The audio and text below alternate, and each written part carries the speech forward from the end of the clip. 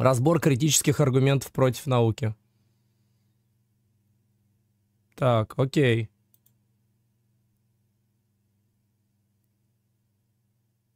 Охуенно. Короче, методология Панчина я вижу. Я вижу методологию Панчина. Мы берем рандомные фрагменты из текстов рандомных мыслителей типа Фейрабенда и делаем вид, что мы их опровергли. Я, я, я уже понял, да, это, это будет тяжело. Задача не из простых. Благодаря достижениям науки человек... Мы живем в 21 веке, и это, Охуенно. это чертовски приятно. Допустим. Благодаря достижениям науки человечество победило корь, от А благодаря ли достижениям науки это произошло вопрос? Просто медицина не факт, что наука. Зависит от определения, соответственно. А, да, в биологическом цикле действительно имеются так называемые науки, но как бы тут совсем не факт, что без, например, какой-нибудь, э, я не знаю, физиологии, но анатомия не наука тоже на самом деле, да, без какой-нибудь там теоретической физиологии, еще каких-то теоретических областей мы бы ее не победили. Как-то так. Опять же, нам просто нужно очень строго определить, а что такое наука, чтобы ее даже не просто на нее нападать, чтобы ее еще и защищать. Если вы не пользуетесь строгим определением науки, вы как бы хуй пойми, что защищаете. Это какой-то, знаете, карго-культ, типа «О, наука, наука! У, наука, наука, наука! Кто-то сказал плохо про наука! У, блядь, у, защищать наука! Защищать наука!» А, так он это не имеет в виду, Тетемора. Он же дур- дурачок, блядь. Простите, я, я собирался без оскорблений, но не могу. вот. Я вполне уверен, что, что он сказал то, что он сказал, ничего не имея в виду в данном случае. А, вот. Вот понимаете, в чем дело, да? Тут важно защитить не науку как какой-то, не знаю, термин, как какую-то методологию, либо как что-то еще. Тут важно слово наука защитить. Тут как бы уга-буга пипи-пупу, как бы у-у-у, э, какой-то вот этот примитивный подход к защите науки через, э, собственно... Ну, короче, кто, кто-то кос- прикоснулся к святыне, и примитивный сайентист, э, в общем-то, начинает э, с хуйни. Которой в 20 столетии скончалось несколько сотен миллионов человек. Мы Охуенно. летаем по воздуху, Вот. как птицы, плаваем под водой, как рыбы. Ну, если, конечно, это не тот самый батискаф. Мы можем запускать в космос людей, можем получать Да, из-за науки прям буквально, блядь. Ракеты изобретены в Китае. Ну, порох изобретен в Китае, соответственно. Порох изобретен в Китае, там уже были простые ракеты. Понятное дело, что эти ракеты в космос не летали, да, но как бы они были. Очень давно. Вот. получать фантастической красоты изображения с таких аппаратов, например, как Джеймс Уэбб, непилотируемый. Мы можем собирать Охуенно. Причем здесь наука, можно, пожалуйста, прояснить? Ну, ну, для, как, как мне кажется, наибольшая трагедия во всем этом говне заключается прежде всего в том, что наука захватила практику. Давайте, я не знаю, даже для особо одаренных, для особо одаренных все-таки, да, нарисую картинку, наверное. Короче, давай, давайте посмотрим, давайте посмотрим. У нас есть очень много вещей, да, которые так или иначе связаны с наукой. Я для особо одаренных объясняю. Мои зрители, наверное, эту тему знают, потому что эта тема не такая уж, блядь, и тяжелая. Но зрители Никиты Образцова, скорее всего, как бы могут это, об этом вообще, в принципе, даже и не догадываться, да, что такая вещь вообще, в принципе, существует. Короче, давай, давайте возьмем, э, не знаю, кружочки делать будем. Вот у нас кружочек. Бля, гениально. Идеальный кружочек. Ну, как, соответственно, получается. Да, соответственно, как получается. Это, вот этот кружочек называется индуктивный, блядь, опыт. Есть еще кружочек. Кружочек называется М. Моделирование. Индуктивный опыт. Моделирование. Ну, сюда, сюда входят там всякие эксперименты, наблюдения в индуктивный опыт, ну, вы понимаете. Да, в моделирование входят математические модели. А, вот эта хуйня, вот эта вот научная теория. вот. Э, научная теория. Ну и, соответственно, пусть будет практика. Это очень все упрощенно. Тут еще несколько кружочков можно начертить, да. Вот. Ш- что у нас является наукой, собственно? Я наукой определяю вот научную теорию только. научная теория, но научная теория так или иначе пользуется индуктивным опытом. Она включает в себя моделирование, да, она включает в себя моделирование. А, и при этом, а, собственно, ну, так или иначе, из индуктивного опыта и моделирования следует практика уже. Напрямую из теории практика не должна следовать, потому что, ну, блядь, э, теория все равно достаточно абстрактна, и напрямую практику из нее хуй выведешь, а вот из модели э, и опыта индуктивного, да. Соответственно, проблема заключается в том, что вот это вот все само по себе наукой не является. Вот. Вот это вот все наукой не является. И то же самое, что у нас здесь находится, можно, например, заменить не научной теорией, а, например, МТ. МТ. Магической теорией. Вот. Прецедента. Вот, наверное, магическая теория пусть будет. Или, например, христианская теория, или исламская теория, да, то есть... То есть э, тут как бы все изи. Вот, вот эта вот штука, которую мы, собственно, называем наукой, это философия, полностью заменимая, да, судя по всему, и на ее место может стать вообще все, что угодно. И далеко не факт, что это что угодно будет мешать э, обретению индуктивного опыта. А, сбору, созданию, собственно, моделей и выводу из всего этого практики. Нет, есть отдельные учения, которые будут этому мешать, ну, потому что они антитехнократические, они против технологий, они там против моделирования могут быть, да, и, может быть, даже замену моделированию можно какую-то найти, чтобы к практике нормально стремиться, потому что не всякая практика требует модели. Вот. Но пока мы вот имеем вот этот вот корпус. Вот мы имеем вот этот корпус, да, то есть монополия науки на индуктивный опыт — это полная хуйня, индуктивный опыт всегда был доступен человечеству. Моделирование тоже всегда было доступно человечеству, то есть мы всегда могли взять математическую модель и использовать ее до возникновения науки. То есть до 17 века буквально, до того, как научная методология, тип научных теорий был вообще в целом создан. Ну и практику мы тоже создавали до науки, то есть монополия науки на индуктивный опыт, монополия науки на моделирование и монополия науки на практику — это полная хуйня, она не работает. Это мания-фантазия, не знаю, научных догматиков, очевидно. Другой вопрос. Другой вопрос. Является ли научная теория самой эффективной, чтобы теоретически обслуживать индуктивный опыт, моделирование и практику? Мой ответ нет. То есть, ну, это, не знаю, насколько это проверяемо, просто у нас, опять же, да, вот такой уровень практики, такой уровень развития общества и все такое было, ну, возникло просто один раз в истории вот при науке. Может быть, это связано не с наукой, может, связано с социальным прогрессом, может, связано еще с чем-то, да. Здесь может быть огромное количество факторов, с которыми связано такое развитие. Ну, например, Китай долгое время был технологически более развит, чем весь остальной мир, но там не было никакой, блядь, науки, не, научной теории имеется в виду, да. Соответственно, да, наука не имеет права на индуктивный опыт в том плане, что у нее нету право на тотальную монополию. То есть мы не можем сказать, что вот индуктивный опыт должен принадлежать только науке. Моделирование тоже не принадлежит только науке. Ну и практика тоже не принадлежит только науке. Вот так вот. И обрабатывать огромные объемы данных, так что их девать уже некуда. И наоборот, проблема в том, что их слишком много. Все это стало возможным благодаря науке, как способу познания мира и как социальному институту. Ну, короче, окей, базу, базу вкинул, конечно, образцов, э, пруфов не будет. Вообще существует несколько типов мировоззрения. Стоп, еще раз. Проблема в том, что их слишком много. Все это стало возможным благодаря науке, как способу познания мира и как социальному институту. Так это два разных подхода. Наука как социальный институт включает в себя еще и теологию, например, ну и, допустим, религиоведение всратое. Вот, э, вот кто, кто в космос полетел из-за религиоведения, расскажите мне, пожалуйста. Какая практическая значимость религиоведения по факту? Вообще существует несколько типов мировоззрения. Религиозное, философское, мифологическое, обыденное. Спасибо. Хм. Художественное и научное, которое, знаете, как-то вот затесалось рядышком. И наука тоже есть. Но между тем наука позволяет наиболее эффективно и наиболее плодотворно, что ли, обрабатывать информацию, которую... Охуенно.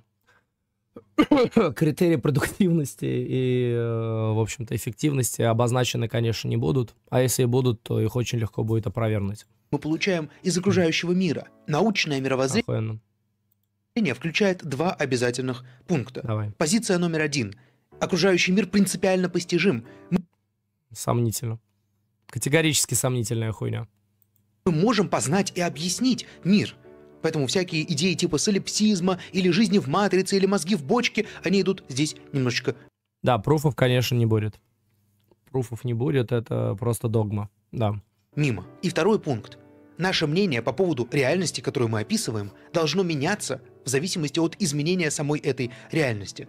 А если мы вдруг достигнем неизменного мнения о истинных законах природы, значит, оно должно меняться или нет? Вот это уже полная хуйня. То есть, если мнение должно меняться, значит ли это, что наше мнение по поводу теории эволюции должно измениться на отсутствие теории эволюции в итоге?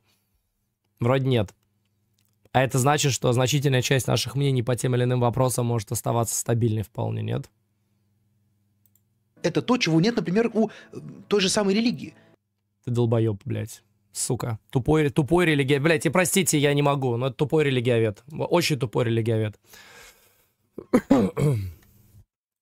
Наше мнение по поводу реальности, которую мы описываем, должно меняться в зависимости от изменения самой этой реальности. Это то, чего нет, например, у э, той же самой религии. Отберите у этого долбоеба, пожалуйста, блядь, я не знаю, он ма- он магистр или кто? Отберите у этого долбоеба корочку магистра по религиоведению. Срочно, блядь. Человек не в курсе, что религии со временем менялись. Ну, становились больше, цельнее, мощнее, да. Меняли свои позиции по разным вопросам, в том числе связанным с божественным. Да, не менялись коренные убеждения, такие как, например, в науке есть, ну, собственно, естественная установка. Он не полностью ее перечислил, правда. Он на один аспект этой естественной установки лишь указал, э, второй аспект он просто из головы выдумал, вот этот вот, который он сейчас озвучил, да. В науке тоже есть неизменные положения. В религиях есть неизменные положения, и то в разных конфессиях они могут меняться. Вот.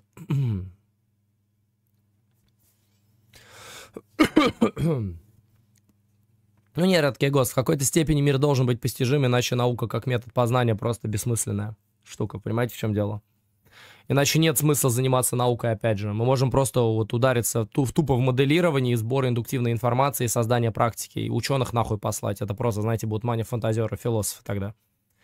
Вот. Если мир принципиально непостижим. А тут целая мифология, которая складывается на основании того, что мир постижим, мы его потихоньку постигаем, да, соответственно, мы, мы на основании этого якобы вырабатываем практику. Вот. Вот и все, понимаете, вот как-то так. Я говорю, что они не полезны, разве Редкий ГОСТ? Потому что религиозные доктрины, они даны изначально, и потом они развиваются уже в рамках этой данности. Охуенно. Охуенно. Научные доктрины тоже даны изначально, они тоже развиваются в рамках той или иной данности, потому что, ну, собственно, у нас есть определенного рода научная методология. Нихуя, да? Вау, блядь. Вау. Если вдруг э, изменится тот или иной аспект данной методологии, наука просто наукой перестанет быть. Ну, например, если ученые все вместе признают, что мир, допустим, все же непостижим, и можно рассматривать любые теории, не только натуралистические, это уже будет что-то другое, а не наука, скорее всего. Ну, либо мы очень сильно изменим определение науки настолько, что оно станет неузнаваемым, да, окей. Ну, в общем, та наука, которую мы имеем сейчас, и та, в кавычках, наука, которую мы могли бы получить потом, ну, они просто будут... э, это будут разные штуки, категорически. Ну и по факту ученые придерживаются определенных убеждений на протяжении столетий. Мало ли этого. То есть бук- буквально, да, буквально есть определенная научная доктрина, которая не меняется и от которой идет развитие. В то время как наука способна меняться в зависимости Любая религия, блядь, меняется. Ч- человек, который занимается религиоведением и не признает изменчивость религий, должен быть лишен степени на основании абсолютной, блядь, некомпетенции. Человек, э, занимающийся религиоведением, не может озвучивать тезис о неизменности религий. Это моя просто принципиальная в данном случае позиция. Это просто, блядь, пиздец.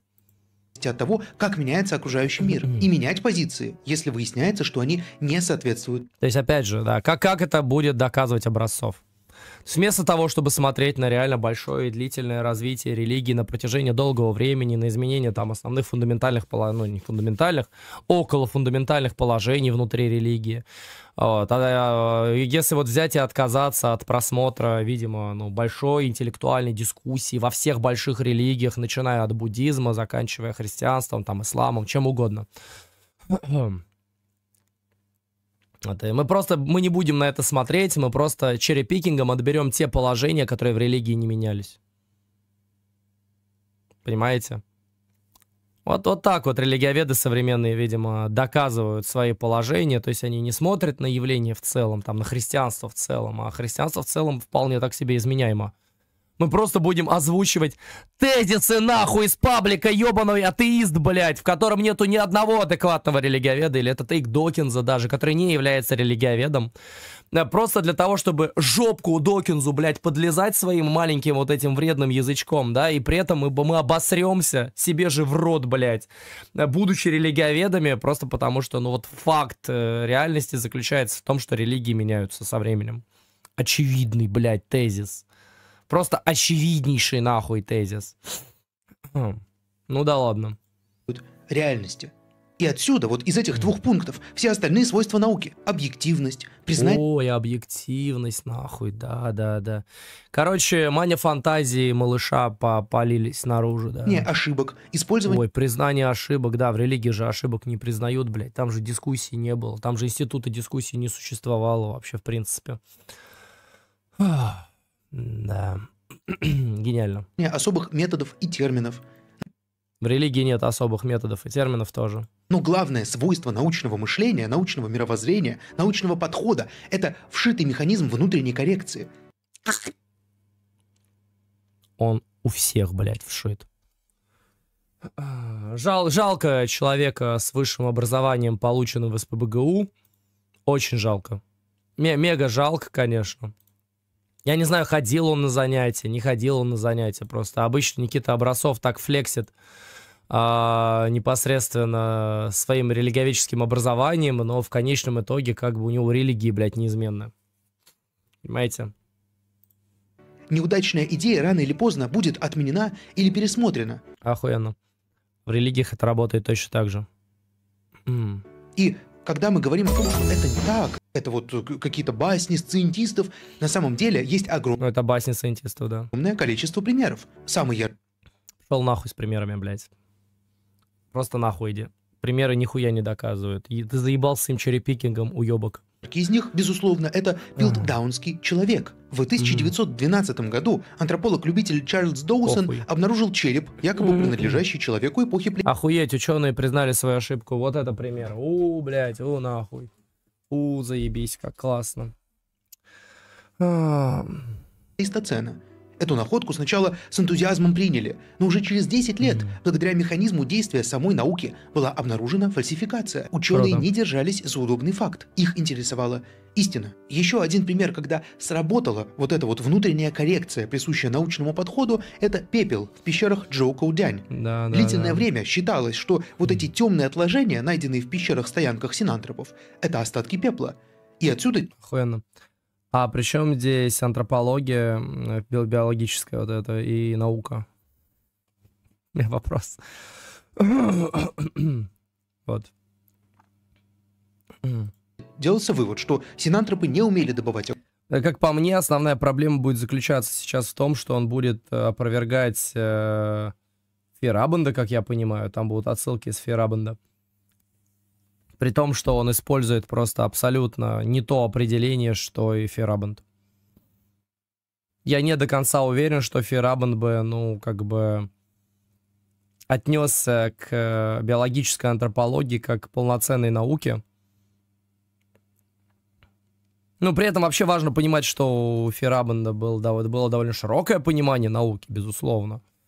Вот. То есть он, он, он в каком-то смысле даже сайентист, несмотря на то, что его определение науки настолько широкое, и он пиздит вот этот вот уз, узконаправленный методологический сайентизм, и поэтому он часто используется нами, антисайентистами. Вот.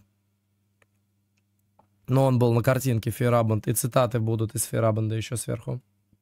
Мы видели, там будет цитата из Ферабанда, вот она. А, вот. Вот цитата из Ферабенда, вот она здесь. Так что будет. Ну окей, как видите, в защиту науки, разбор критических аргументов против науки мы уже три минуты потратили, не озвучив ни одного критического аргумента. огонь и поддерживали костер годами и десятилетиями, ну, потому что они просто не могли его развести по новой. Но впоследствии выяснилось, что все совсем не так. Эти черные отложения – это остатки ила и гуано летучих мышей. Я привел лишь два примера ситуации, когда Угу. Похуй, ученые отбрасывали удобный, похуй. Устоявшийся факт и Охуенно. заменяли его на истинный факт. Это точно истинный факт. Ты уверен, что это истинный факт? Может, они ложный факт заменили на другой ложный факт? Ну да ладно. Видите, какие ученые классные. А мы берем и доказываем это чем, блядь, черри-пикингом. М, Как интересно. Примеры так круто работают, знаете. Мы можем просто взять... Вот так вот. Вот так вот. А вы знали, что ученые э, как бы расчленяют людей нахуй и бросают их в реки? А вот у меня есть примеры. Примеры. Олег Соколов, ученый, доцент вообще-то. Привет, человек. 376. А вы знали, что вот оказывается... Вы знали, что вот, блядь, оказывается, неожиданно, блядь, ученые расчленяют нахуй людей? А я еще, наверное, если, если поискать в новостях, еще несколько ученых-расчленителей, наверное, мы найдем. Ученых там миллионы. А вот в этой выборке из миллионов, скорее всего, найдутся маньяки. Вот такой вот выборкой мы можем доказать, что ученые-расчленители, блядь. Вот так вот работают примеры. Для того, чтобы соблюсти вот этот главный критерий – объективность, соответствие реальности. Ой, блядь, объективность, соответствие реальности. Видите, он определяет объектив... Ладно, будет видео. Ну, похуй. Объективность как соответствие реальности, видите? Видите, это важно. Это важно подчеркнуть. А ты уверен, что мы реальности соответствуем? Ведь ты ведь все-таки заранее как бы... Так вот, ты же уже проебался, как бы, да, буквально, да, ты сказал, что мы просто на основании нихуя отвергаем огромное количество теорий, в которых мы не имеем доступ к познанию.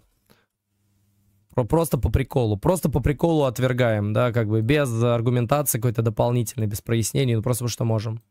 А теперь попробуйте привести пример, когда в религии, магии, астрологии, художественном или обыденном мировоззрении консенсус менялся под влиянием неоспоримых фактов.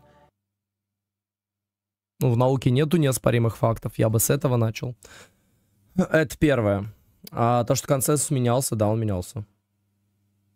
Мы можем посмотреть на историю магии, на историю религии и обозначить Никиту Образцова как клоуна, долбоеба и дегенерата, которого необходимо лишить магистрской степени по религиоведению, потому что он не знает просто банальных вещей, очевидных, просто вот очевидных вещей не знает в религиоведении. Ну, ну, хотя на самом деле, может быть, он об этом и знает, может быть, он это и проходил, но просто, понимаете, научный догматизм э, настолько закрыл ему глаза, что ему просто приходится... а, вот. Именно здесь вот ключевая разница между наукой и ненаукой – это способность науки, научного метода, научного сообщества менять свои подходы. И Охуенно. А, Тем временем религия на протяжении, любая религия на протяжении многих лет меняла свои подходы. Да, охуеть. И религиовед об этом не знает. если честно, я как религиовед не могу Ты долбоеб и не религиовед. Вспомнить таких примеров, скажем, в религии. Мы живем что ты дурак, блядь. Ты конченый. Ты конченый, потому что... Изучи историю религиозной философии, буддийской, исламской, блядь. Там просто буквально тезисы заменяются, люди приходят, уходят, создают новые тейки и так далее, так далее, так далее, так далее. Как-то так. живем в 21 веке. Так хорошо, как мы живем сейчас, мы не жили никогда. По всем статистическим И это все благодаря науке! А ну поклонитесь, смертные! Наука! Наука! Наука! Ока, ока, блядь, ука, блядь, нахуй, понимаете? Ну, блядь, охуенно. Да-да-да-да-да, мы, мы поняли, мы поняли. На колени встаем, молимся великой, великой науке невероятной. Наука просто крута, блядь, божественна. Как же она охуенная. Это наука, конечно. Вот. Ну, Никита-то не обязан менять, он же не ученый. данным. Продолжительность и качество жизни, доступность медицины, образования, технологий. Понял. Но именно сейчас Медицина и технологии сами по себе не наука. Но опять же, зависит от того, к кому мы обращаемся. Но я бы, наверное, заметил, что большая часть антисайентистов, они скорее не противники. Хотя больше, не больше, хуй знает. Большая часть это, возможно, возможно, реально какие-то лудиты. Тут, тут к вопросу о том, да, кто, кто большая часть антисайентистов.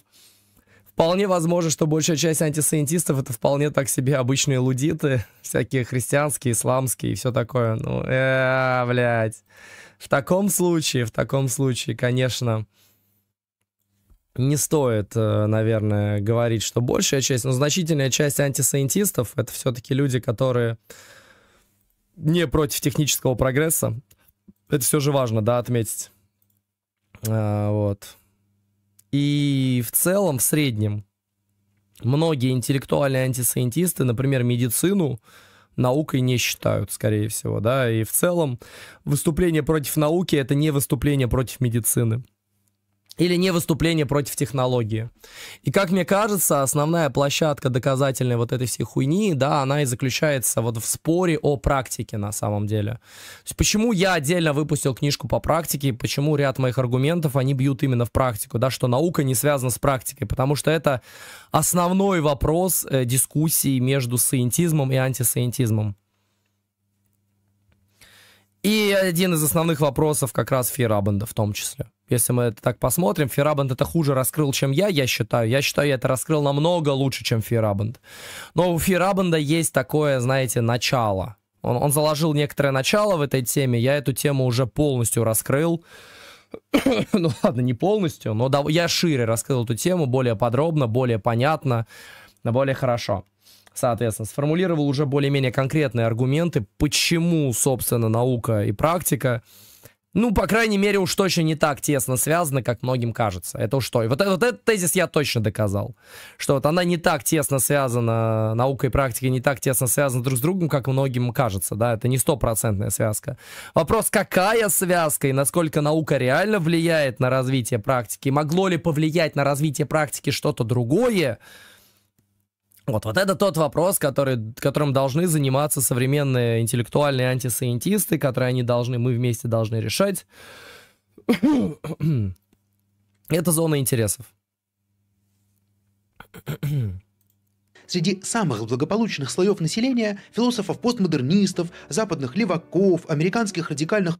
Да, охуенно консерваторов небывалого уровня достигло недоверие к науке. Я бы сказал, отвращение и ненависть к науке как таковой. Вы игна... Ну, забавно, что могу сказать. И это после спора со мной, как бы, Никита, понимаете? Э, это Никита говорит после спора со мной, при том, что я, например, не испытываю никакой ненависти к науке. И Ферабанд, которого он будет приводить в качестве одного из аргументаторов, никакой ненависти к науке не испытывает тоже. Вот. Игнорировали мой вопрос относительно магнитофона. Не, не спиздил, будем позже смотреть. Фу на вас. И сейчас я разберу несколько положений, которые ставят под сомнение ценность науки, и проанализирую каждое. Что такое наука, блядь, чел? Почему вопрос всегда начинается с того, что такое нахуй наука?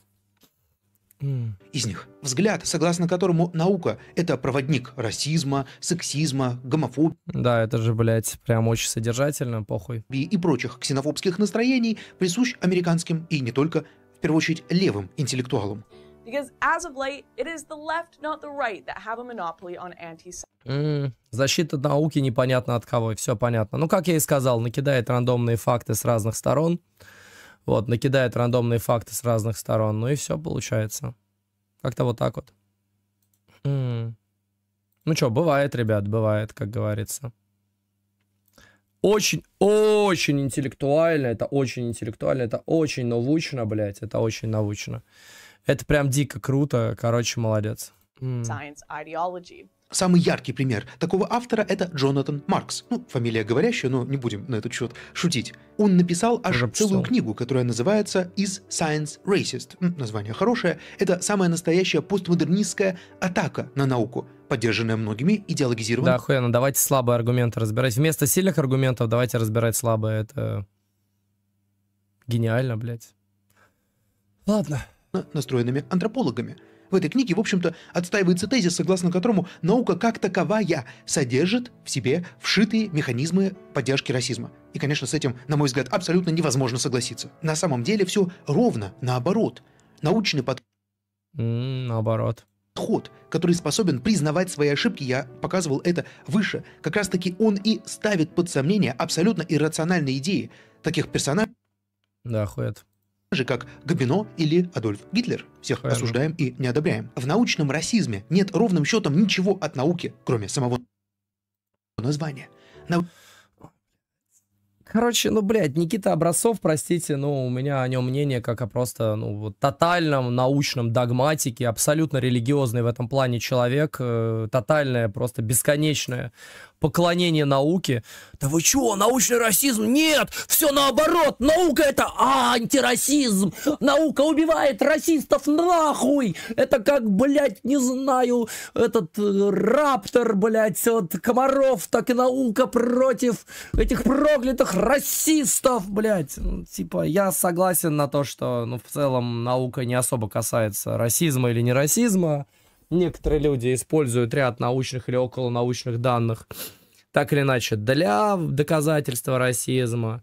Некоторые направления, наоборот, да, используют так или иначе те или иные данные, чтобы доказывать антирасизм какой-то уже. То есть, в принципе, наука нейтральна.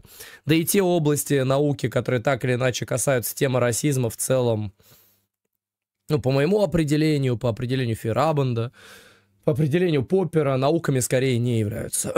ну, то есть это всякие там, не знаю, измерения IQ, еще какая-нибудь хуйня, там, да, популяционная биология, которая не столь теоретична, сколько, ну, мы просто на, за популяциями там наблюдаем, которые, ну, которые строятся прежде всего на наблюдениях.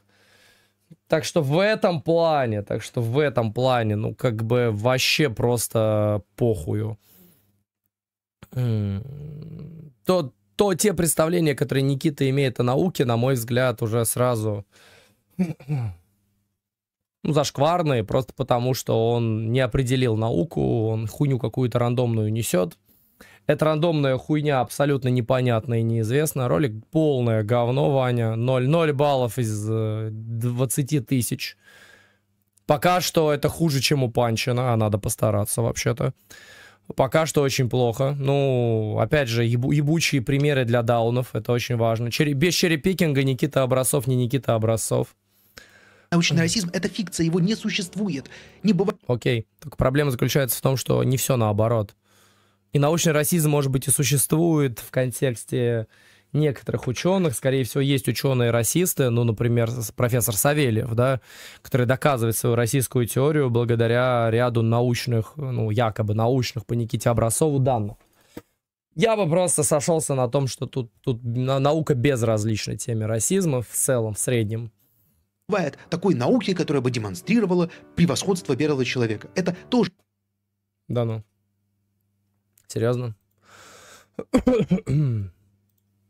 Форма идеологии, которая основана на абсолютно псевдонаучных подходах. Поэтому, когда мы говорим, что Окей. наука поддерживает человека-ненавистнические взгляды, такие вот, как взгляды Габино, Гитлера, Чемберлена и им подобных, мы допускаем фатальную ошибку. Ученый может Фатальную. Придерживаться любых взглядов, даже самых людоедских, глупых, человека-ненавистнических. Но в этом случае мы должны оценивать его взгляды обособленно. Мы не должны говорить о том, что это проблема науки, с чего вдруг. Другая, прямо противоположная претензия к науке звучит так. В науке есть заговор зловредных леваков.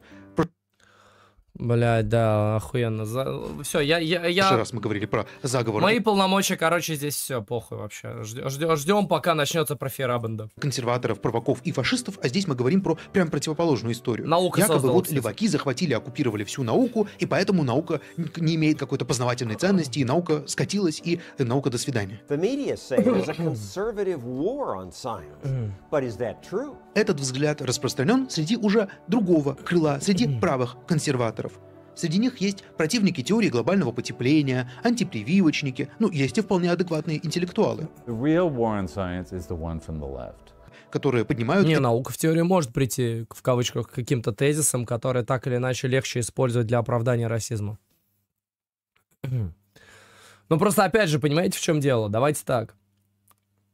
Даже если внезапно окажется, что белые лучше, чем черные, допустим, ну, объективно, по всем параметрам, ну, кроме физических, допустим, это еще не значит, что расизм должен существовать. Понимаете? Понимаете, еще о чем я говорю, да? То есть даже в случае превосходства одних над другими, раз, мы, конечно, шутим, мы этого не допускаем, мы в этом а, тотально сомневаемся, что такое превосходство есть, но допустим. Расизм все еще не обоснован, да, тут будет работать гильотина Юма, так скажем, потому что нам из факта нужно сделать то, что должно уже, да, судить о должном. Хм. И в этом плане, ну, из одного тотально не следует другое, и поэтому даже если ученый внезапно докажет, мол, что, типа, хм, ну, допустим, ладно, давайте, ази- азиаты лучше всех, допустим, так, азиатский ученый доказывает, что азиаты лучше всех, допустим. Самые умные, самые классные и так далее. Из этого еще не следует, что азиаты должны иметь привилегированное положение в обществе. Из этого не следует, что азиаты должны быть там более уважаемы, более крутые, э, должны зарабатывать больше денег обязательно по дефолту, да. О, азиат, что азиат обязательно на работу надо брать, а не азиата не надо. Вот. То есть здесь нету прямого логического следования. Ну, его, конечно, можно попробовать проработать каким-нибудь образом. Это будет не так сложно. Но это все равно уже не будет чистой наукой, точно. Это не будет чистой наукой в том плане, что это, это- эти высказывания уже не являются компетенцией той или иной научной дисциплины. Это уже следствие той или иной политической доктрины, мол, вот если азиаты самые лучшие, если азиаты самые умные, допустим, да, то нам было бы экономически выгоднее, например, да, опять же, чтобы азиаты занимали наиболее высокое положение в обществе, работали на самых ответственных и дорого- дорогостоящих работах, там, да, и так далее, так далее, так далее, так далее, допустим. А как доказать, что всех остальных истреблять надо вообще на основании расизма? У всех, кроме азиатов, допустим. Вот у нас азиатский расизм сейчас взят, э, как пример. Кто вообще хуй знает, как сделать. Если относительно работы понятно, что было бы круто, если бы более умные, более классные люди работали на более высоких областях, было бы прикольно. Вот. Ну ладно, поехали.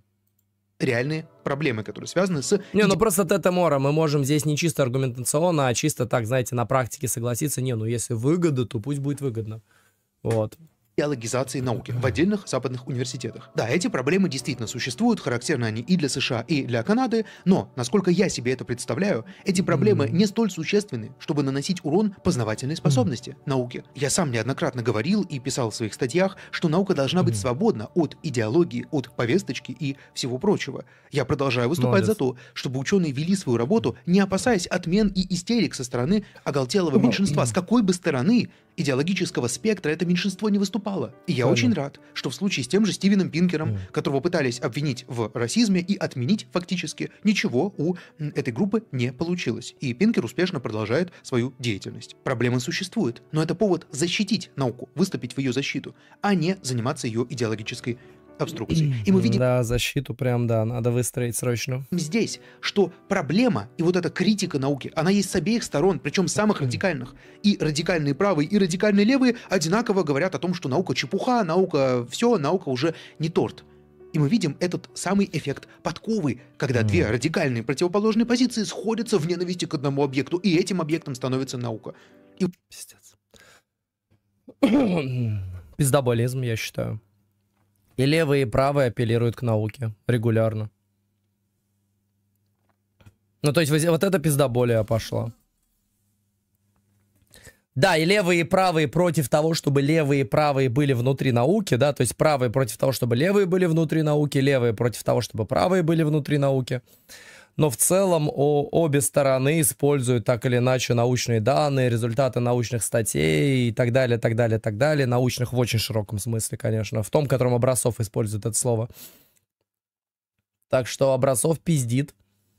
По факту, если так посмотреть. Важно не забывать, что аргументация того или иного правака или левака будет состоять из отсылок на те или иные научные данные, там, на теорию эволюции, еще на что-нибудь сверху. Так что тут как-то так. И вот таким радикалам я предлагаю снять очки, выбросить свои айфоны, перестать летать и начать ходить пешочком, как Жан Вальжан из книги «Отвержен». Ну, Никита пропиздел. Вот здесь он тоже опять пропизделся. Забавно, что он и по религии пропизделся, что религии неизменяемые оказывается уже, а вот наука меняется. О, господи. Какой же, какой же кринж. так вот, потом вот это вот подкова неожиданный, они в, ненав- в ненависти к науке. А наука такая, о, зачем вы меня критикуете, блядь. Да. Виктора Гюго.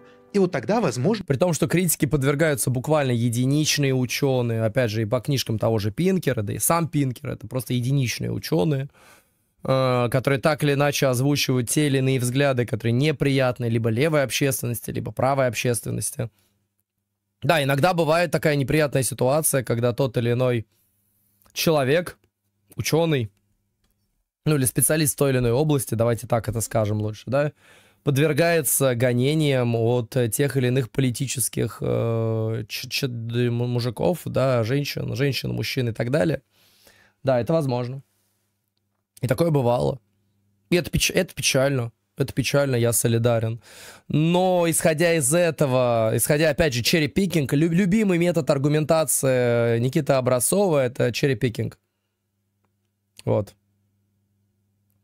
Привет, Friction Так вот, это очень глупый cherry-picking, это очень глупый cherry-picking вот у Никиты Образцова, это его основная методология, мы просто берем, опа, смотрите, Пинкера попытались выбросить из науки, опа, посмотрите, а вот у другого дядю из науки попытались вытащить, все, ненависть против науки, у всех, блядь, у правых, у левых, блядь, а наука такая стоит, и она такая, блядь, окружена, но не сломлена, и так далее, так далее, так далее, вот какая крутая наука, сука, тупые правые, сука, тупые нахуй левые против великой науки, как бы.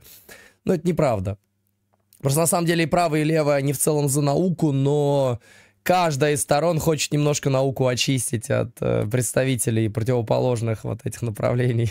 они станут настоящими критиками науки, а не двуличными лицемерами. Следующее положение, Мгм. которое якобы критикует и разоблачает науку как таковую, звучит так. Наука ничем не лучше астрологии, таро Чел, прочитай Ферабанда полностью. Ты сейчас выделил один тезис из Ферабанда. Да, больше вроде бы ничего не будет. Да, реально, вроде бы, кажется, больше ничего не будет. Он больше не успеет ничего обсудить. Там Википедия только будет. А, там про создание имплантов будет Википедия, короче, охуенно. и магии. Этот взгляд также популярен среди левых идеологов и их симпатизантов. Мгм. Вопрос. А это не из контекста вырванное высказывание? Пруфы будут к этому высказыванию? Ну просто опять же, можно, пожалуйста, раскрыть вот эту фразу? В каком смысле лучше, в каком смысле хуже? Среди философов-постмодернистов, например, у которых много лишнего времени и, возможно, много лишних денег. Фейрабанд не постмодернист. Еблан, блядь. Проклятый нахуй. Ладно, Но опровергается этот тейк очень просто. Наука давай. работает, а все Знаете, мне что это напоминает? Короче, это Арсен Маркарян. Наука это Арсен Маркарян, короче. Ле, я богатый, нахуй, я ебу всех телок вокруг, блядь. Я крутой, сука, слушать меня, блядь, пидорас, нахуй. Я работать, блядь. Я побеждать, сука. Делать, как я, нахуй, вместе все, блядь. Э, вот наука это Арсен Маркарян. Очевидно. Раб- наука работает, эта хуйня ни о чем, блядь, вообще не говорит. Вообще, что такое наука, ты до сих пор не определил. Ты сейчас споришь с Фейрабандом, у которого вообще свое представление о науке, блядь. Конченый, сука. все вышеперечисленное не работает. Это можно проверить Да, да, да. Ну, магия тоже работает, люди говорят. Вот люди говорят, которые магию используют, что работает магия. Ну ладно, окей. Используя абсолютно рациональные методы Охуенно. и абсолютно А С абсолютно рациональные методы. базовые методы мышления. Абсолютно базовые методы мышления это когда мы используем черепикинг, это раз. Когда мы не определяем науку заранее, чтобы не понимать, а кого мы опровергаем. Когда мы не, не рассматриваем определение наших оппонентов, того, что такое наука у этих оппонентов. Другие определения, очевидно. Вот, вот это абсолютно рациональные, абсолютно очевидные методы опровержения науки. На самом деле, вот такой уровень мышления хуже уровня мышления школьника, блядь. На первом курсе любого вуза такой формат рассуждений должен быть искоренен нахуй просто. Это формат рассуждений умственно отсталых. Сорян, конечно. Вот. не соглашаясь с которыми вы теряете право находиться в одном ряду со здравомыслящими людьми. И вам тогда поможет другая уже дисциплина, а именно психиатрия. И тебя вылечат. И тебя тоже вылечат. Охуенно, молодец. Забавно, что при этом э, всем он сам ну, вообще в принципе не пользуется рациональными методами. Мне кажется, кстати, мне, кстати, кажется, вот что э, конкретно э, характеризует Никиту Образцова. Никита Образцов является образцовым противником рациональных методов на практике, но при этом он э, пытается казаться таким вот спокойным, таким вот сдержанным, таким вот культурным, но при этом он не может использовать рациональные методики от слова, ну, вообще почти совсем. Он не знает, как ведется рациональная дискуссия. Единственное, что он может... Понимаете, Никита может поддерживать этикет рациональной дискуссии. Ну, это самое тупое, что там можно поддерживать. Я, например, этикет рациональной дискуссии не поддерживаю. Но сам формат, форму рациональной дискуссии он выдержать не может. Он не умеет, блядь. Он не понимает, что это такое. Он не понимает, э, собственно, как складываются посылки, как из них следуют выводы, как бы подобрать наиболее подходящие посылки. Он не умеет с этим работать, в принципе. И оценивать тоже не умеет. Определение давать не умеет, что самое главное. И в этом плане, ну, Никита в теории является рационалистом, агрессивным рационалистом, но на практике он и рационалист, потому что он не знает, что такое рациональность и как она применяется. Поразительное следствие. Например, Лемон, Лемон, Лемон знает, что такое рациональность. К вопросу, к, к вопросу о Лемоне, да. То есть вот Лемон, например, он и, раци... и, он и отдельно, да, слово, он и рационалист, не иррационалист, а он и рационалист, и, собственно, рационально на практике де- ну, размышляет, так скажем, да, то есть я вот, вот, вот здесь такой формат проворачиваю, то есть он рационален и на практике, и в теории Лемон. А Никита Образцов наоборот, то есть он, ну не наоборот, он в теории рационален, настолько же, настолько, насколько Лемон, скорее всего, но при этом абсолютно иррационален в рассуждениях. Ну, потому что ему голову промыли вот этой всей сciентической идеологией, к сожалению. К сожалению, ну, собственно, крышечка поехала, тут религиозное поклонение слепое начинается, абсолютная дискуссионная импотенция открывается, соответственно, на эту тему, именно потому что, ну, тут... Тут все, все это вопрос чистой религии, веры в науку. Науку надо защитить любой ценой, неважно, как мы ее назовем, неважно, чем она является. Все наши враги, вот их психиатрия ждет, соответственно. А, а мы умные, красивые, прекрасные, за все самое светлое, хорошее, за изобретение, за практику, за технологический прогресс. Да как же так, корь победили, блядь, чуму победили, это все ученые, какие же ученые, блядь, молодцы. Короче, вот такой набор чистых стереотипов течет. А, Вот. Есть такое Тетемора, вот это да. Вот, вот это, да, ну, как и большинство людей, которые так или иначе тяготеют к рационализму, к логике, ко всей вот этой хуйне, многие из них просто не понимают, что это такое. Ну, не, но, с другой стороны, многие понимают, но большинство-то не понимает. Большинство людей используют словосочетание логика и факты, блядь, просто потому что, ну, это модно, это круто, это интеллектуально, как бы, да, не потому что они понимают, что такое логика, что такое факты, а потому что это круто, модно, молодежно, классно, и при этом они не умеют ни то, ни другое, ни в логику, ни факты не могут, но логику и факты они любят. Вот Никита Образцов, кажется, вот один из этих людей, которые не понимают ни логику, э, ни с фактами нормально поработать и осмыслить их не могут. Но вот при этом зато вот они сидят такие, наука, И меня вылечат. Если вы не согласны с абсолютно фундаментальными подходами рационального мышления, то ну, вообще не согласен. ну, вы Ну, ты не тоже не согласен. можете претендовать на то, чтобы вас воспринимали в обществе всерьез. Как Да ну. Большинство людей в обществе рационалисты. Ну, как бы, давайте так, большинство людей в обществе на практике и рационалисты, как Никита Образцов, а в теории, да, хотят быть рационалистами, но по факту похуй. Э, Так рофл в том, что про рационализм трубят в основном сайентисты и атеисты, да, и при этом проблема заключается в том, что большинство из них к рационализму не имеют никакого прямого отношения. Ну, Потому что они не используют э, рациональные методики. Ну, или используют, но очень хаотически. Ну, как Ни- Никита использует иногда рациональные методики, но очень хаотически. Иногда, так знаете, между делом. Каждый может считать себя Наполеоном и верить в астрологию или в то, что в 2024 году Джек Лисовский выиграет чемпионат мира по снукеру. Охуенно. А, просто проблема действительно заключается в том, что, ну, блядь, Никит Сорян, конечно, да, большинство людей на практике рациональны. И всегда были, и всегда будут, скорее всего. Но эти взгляды будут оставаться максимально сомнительными и маргинальными. И общество имеет возможность да, Ну, мора. Просто иррационализм в данном случае это все, кроме рационализма будет. Поэтому, поскольку, как вы написали, большинство людей, в принципе, никто, у них нету осознанных позиций. Вот. Да, вот именно поэтому они иррациональны. То есть э, я бы даже сказал, что они просто нерациональны. Да, вот нерационально, лучше сказать. Дать оценку такому вот человеку. Ну да, и большинство людей также в, в той же самой степени не принадлежат к позиции иррационализма философской, это правда. Большинство людей неосознанно декларируют себя в качестве рационалистов, там, объективистов, фактоебов там, и так далее, хотя на самом деле не осознают, что они конкретно декларируют. Делают это нерационально абсолютно. Ну и, соответственно, да, так считает. И общество дает эту оценку. Когда люди заболевают чем-то серьезным, они идут не к знахарю, а в больницу, если у них есть, конечно, такая возможность. Поэтому Медицина не наука. наша задача с вами По Ферабанду, кстати, скорее всего, тоже.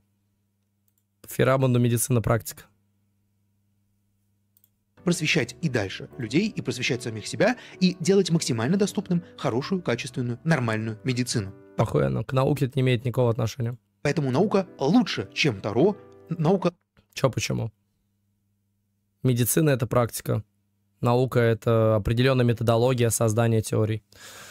Все. Медицина и наука, они разные. Я даже не уверен, что у них есть четкие точки пересечения. Ну, в виде физиологии какой-нибудь, которая может быть теоретична. Медицина в целом учитывает физиологию. Ну, допустим. Окей. Ну, как-то так. Why not? Меди- Медицина не наука. Медицина практика. То есть, и если можно было бы прыгать с бубном вот так вот, стучать, и люди бы вокруг хилились внезапно, медики бы так поступали, они бы были медиками все равно.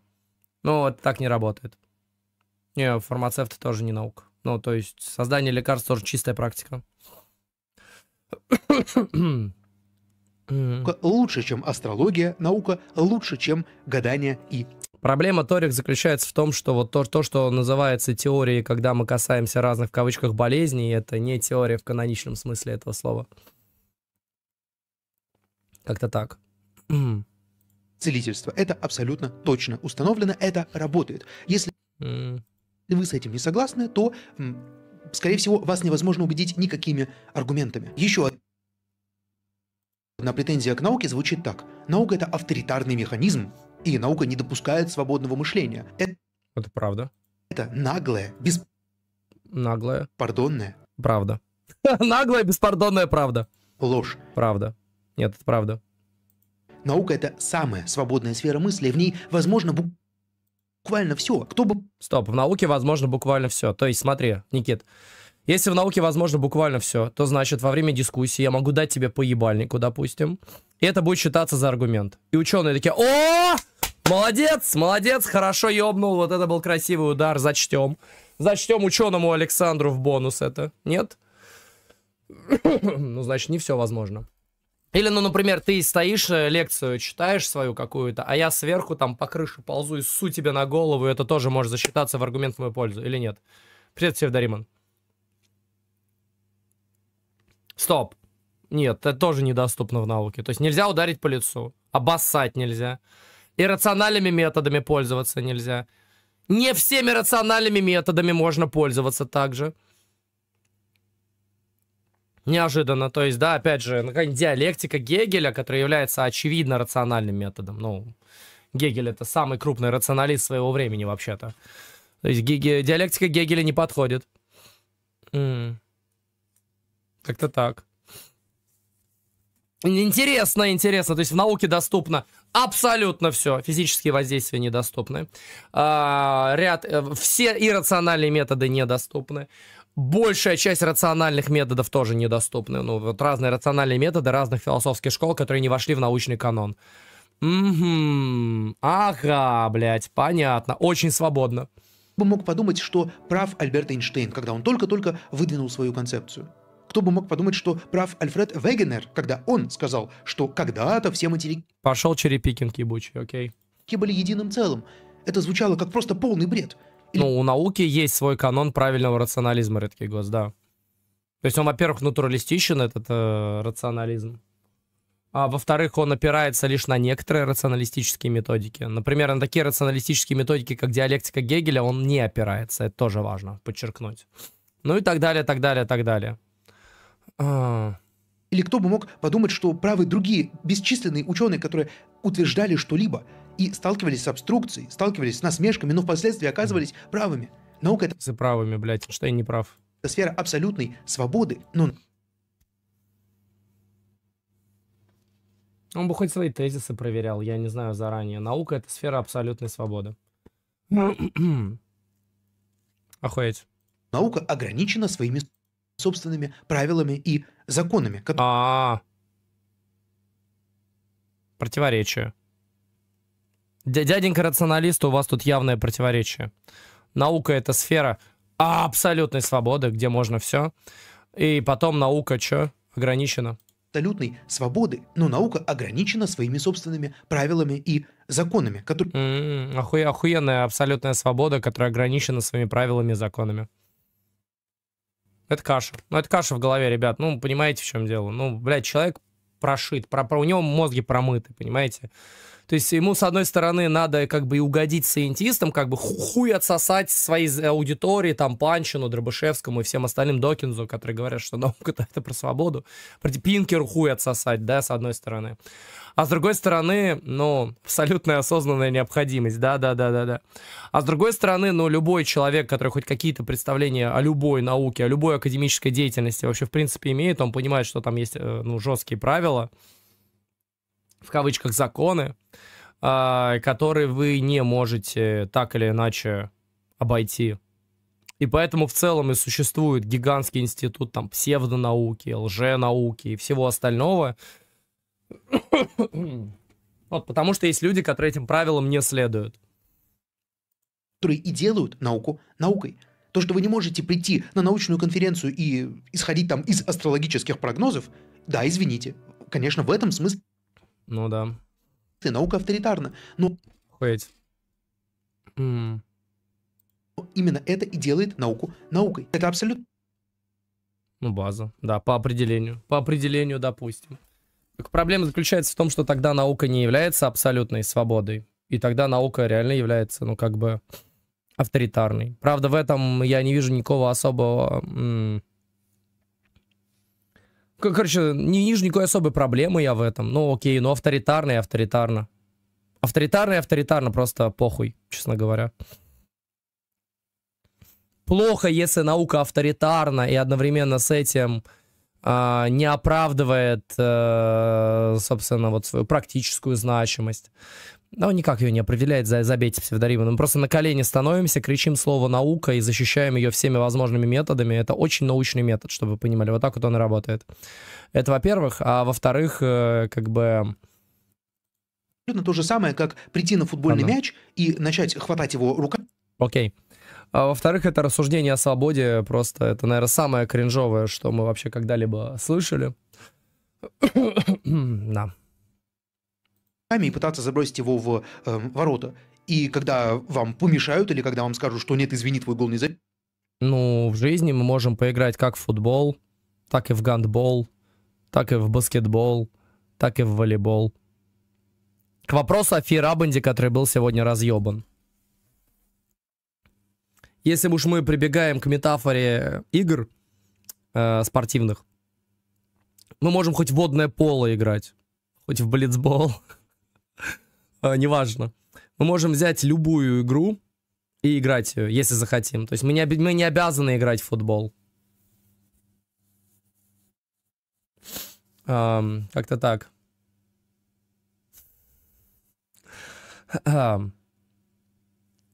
В этом плане у нас есть неограниченное количество разных игр, в которые мы могли бы поиграть, и мы сами решаем, в какую игру мы будем играть, и вряд ли футболисты имеют какое-то рациональное право нас гнобить насчет того, что мы выбрали не футбол, а гандбол, например.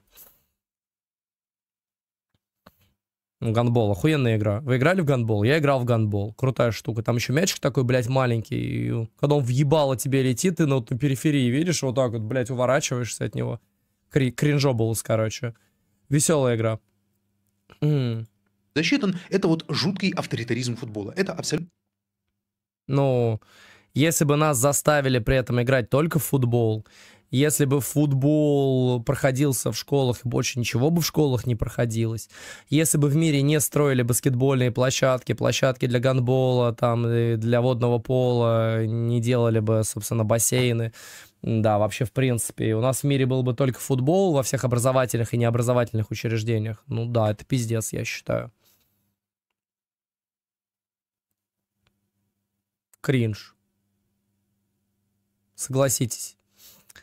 И если ты играешь не в футбол, все вокруг тебя осуждают неожиданно. Прикиньте себе систему, а, в которой, если ты играешь не в футбол, все таки блядь, да ты антифутболист, псевдофутболер, нахуй! У нас тут коалиция, блядь, Панчин, Панчин, сука, он девяточку всегда забивает, блядь, своей маленькой ножкой, нахуй. Своей мелкой ножкой, баньки, мячик всегда в девятку летит. А вы, а вы мне говорите, блядь, а вы говорите, вот вы, блядь, псевдофутболеры, все псевдофутболеры, антифутболисты, нахуй, ебучие. Ну, если бы так в мире было, это была бы шизофрения, я считаю. Вот. А, так, Тетемора. Проблема метода Декарта заключается, да, в том, что он применяет сомнения, исходя из своих догм. Если у вас скептицизм это не базовое, в общем, не базовый фундамент, э, то это не скептицизм. А Все люди применяют сомнения. Понял, внесу. Сколько отнять денег?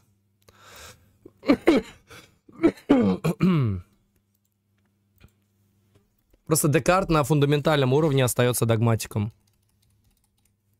А все догматики так или иначе могут использовать сомнения в частном виде.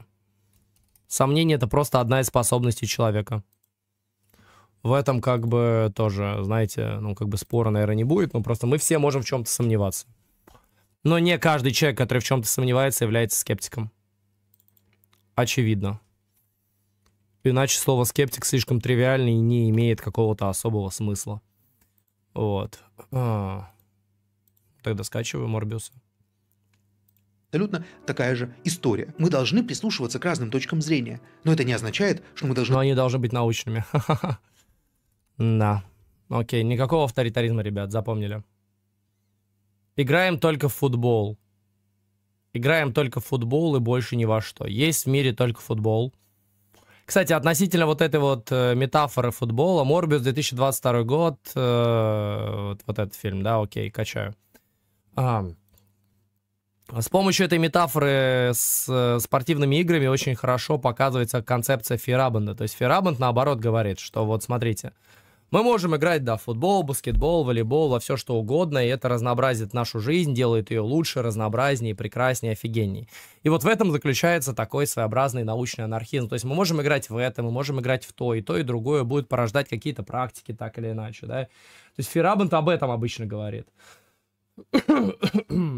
И в этом плане его анархизм, он как бы, да, так вот ре- ре- реально свободный. Вот ре- реальная свобода.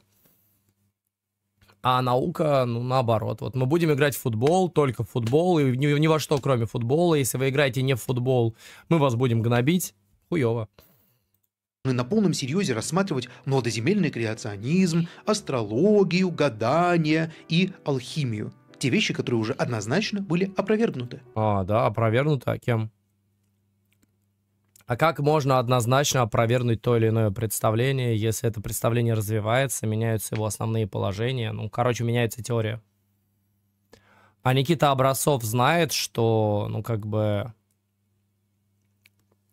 каждая новая формулировка той или иной теории требует новой фальсификации. Ну, потому что иначе вот у нас есть представление Дарвина.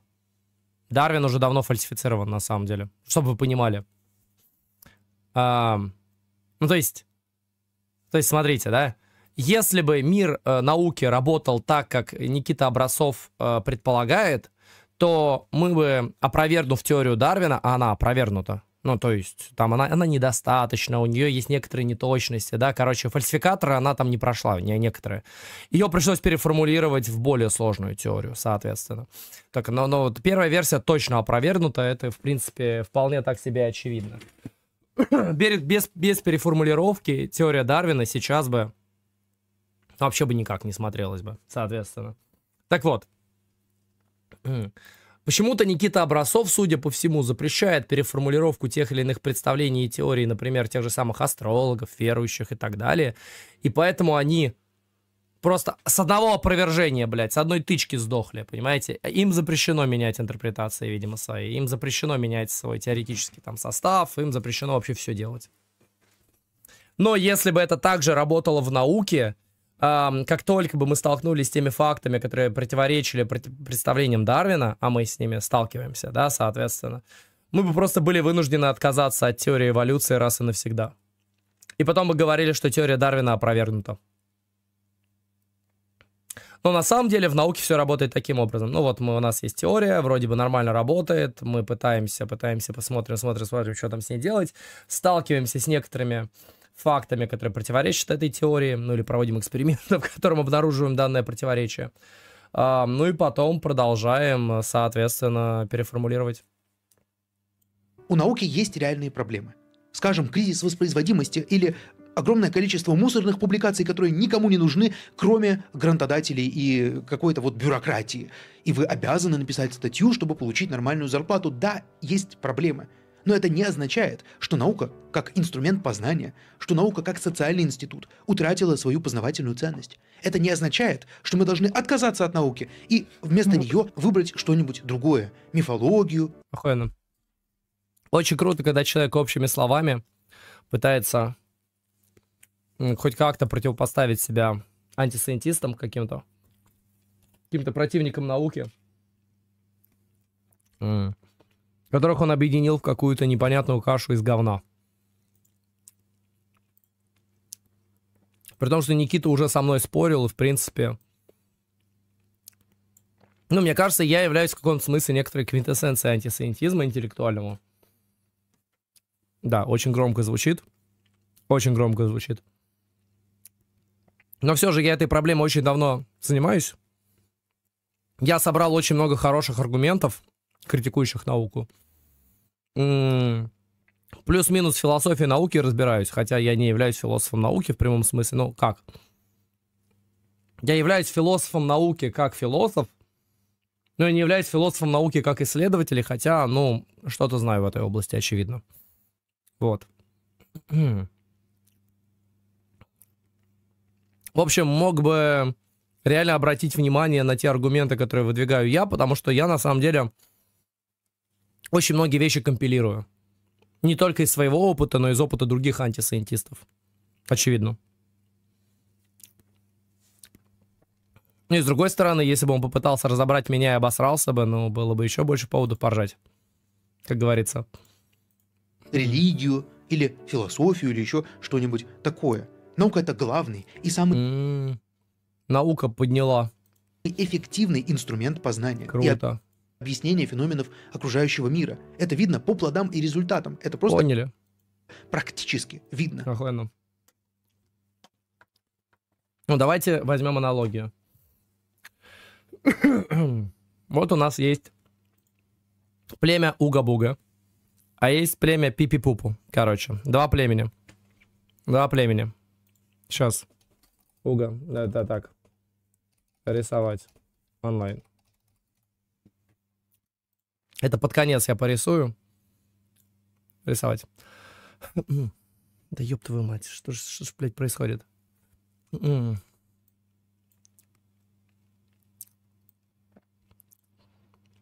Короче, вот оно. Племя Уга-Буга. У. Племя Пипи-Пупу. У племени Уга-Буга получается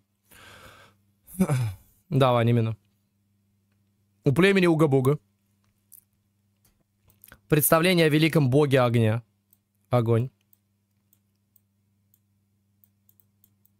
но хуево с практикой, да, у них там вел- великий бог огня, но с практикой все хуево. У племени Пипи-Пупу. Они верят в великого духа воды. Они верят в великого духа воды, но у них получилось изобрести более мощные какие-то технологии. Вопрос. Кто из них прав? У кого более объективные взгляды на мир? Ну, вот настроение мира, на космологию и так далее, так далее, так далее. Ни у кого. У обоих ложное представление. Да даже давайте так, нет, давайте, у них здесь не огонь, у них здесь не огонь. У племени Уга-Буга представление о квантах.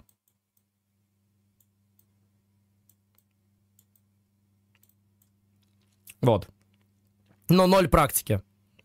У них представление о чем-то похожем на кванты, то есть они ближе к э, так называемой объективной действительности, которую ученые постулируют. Вот буквально племя Угабуга сформулировало идею о том, что вот существуют некоторые кванты и так далее, так далее, так далее, и они вот в принципе совпадают плюс-минус с научными квантами. Окей. Но практики ноль. Племя Пипи-Пупу верит в бога воды. Но у них дохуя разной практики.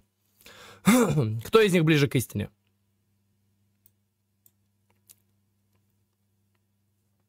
Ну, окей. По образцову получается, вот они ближе к истине. Вот эти ребята. Пипи-пупу ближе к истине. Вот. У них дух воды, но при этом они ближе к истине, потому что у них практика. А вот эти вот люди, которые кванты открыли,